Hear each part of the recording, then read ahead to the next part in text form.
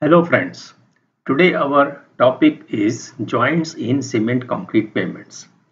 Concrete pavement joints serve many functions like control of cracking, provision of load transfer, isolation of structures that move or behave differently, and provision of lane or shoulder delineation.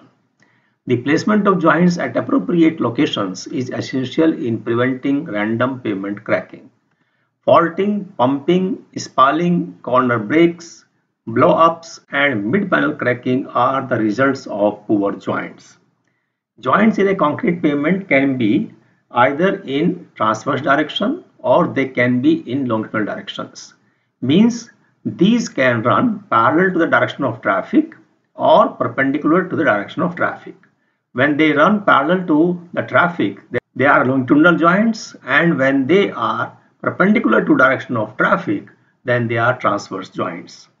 Based on their functions, joints in a cement concrete pavement can broadly be classified into four categories. Construction joints, expansion joints, contraction joints, longitudinal joints. And we will discuss each of these joints in this session. First is construction joints. And these can be in both directions, transverse as well as longitudinal. Transverse construction joints are made at the end of each day's work and longitudinal joints are made between lanes of a multi-lane highway. The purpose of such joints is to divide large pavement area into convenient size for paving. When pouring of concrete is stopped at the end of the day or concrete paving is suspended due to any reason, a construction joint is created. In other words, a construction joint is created when concrete slabs are constructed at different times. And these joints can be in both directions, transverse and longitudinal. Transverse construction joints which do not occur at regular joint location are generally tied with tie bars to prevent movement.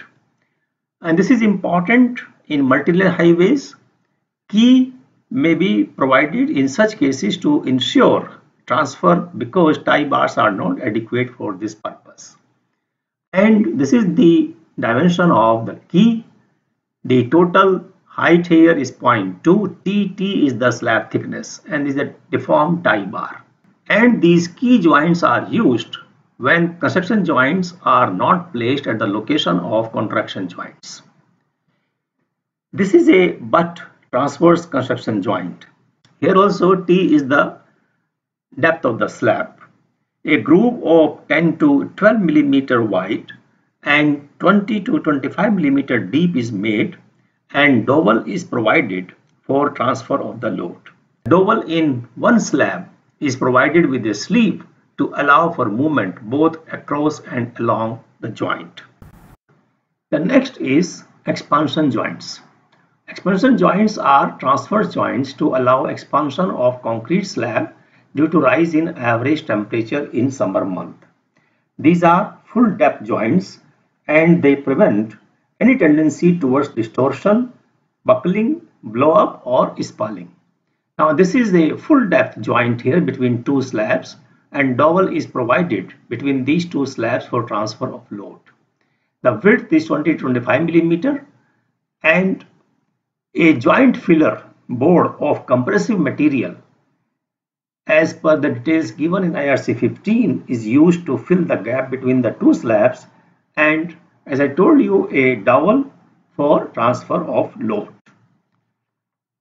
The expansion joints reduce compressive stresses and prevent the pavement from buckling.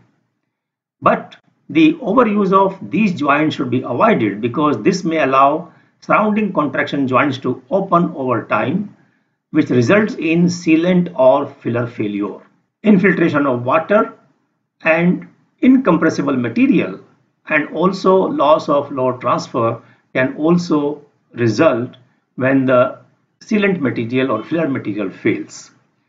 Moreover, these joints are difficult to maintain and get filled up with dirt and other incompressible material causing locking of joints and preventing expansion of the slab.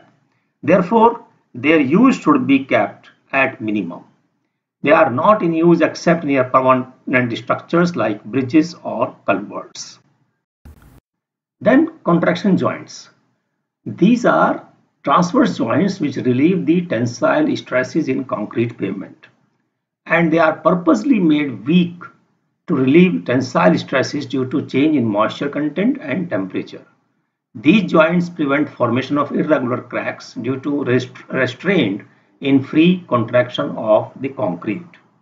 These are formed initially by sawing a groove of 3 to 5 millimeter and then this groove is subsequently widened and sealed with a sealant.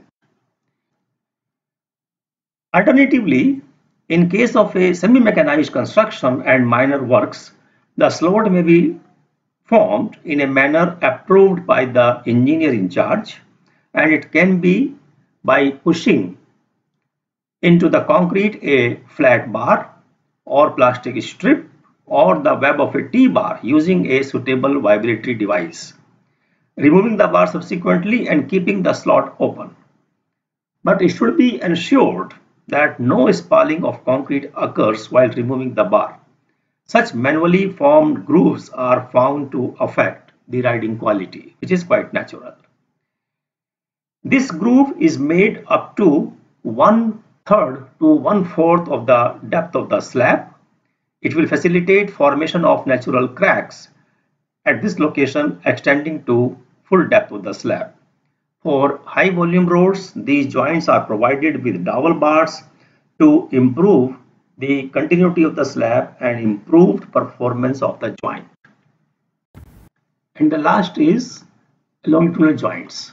Longitudinal joints are joints in concrete pavement that are parallel to the pavement center line and are typically placed at the edges of traffic lanes. They are used to reduce warping stresses and uneven settlement of the subgrade. These joints are provided in multi-lane pavements and also when the pavement is more than 4 meter wide. This is the layout of the joints on one carriageway of a 6-lane road. Now these are longitudinal joints which run parallel to the moving traffic and these are transverse joints. These are the tie bars which are provided to hold the slabs together and these are the dowel bars. So these joints are parallel to the center line of the, of the road or you can say along the direction of moving traffic. These joints also relieve stresses due to warping.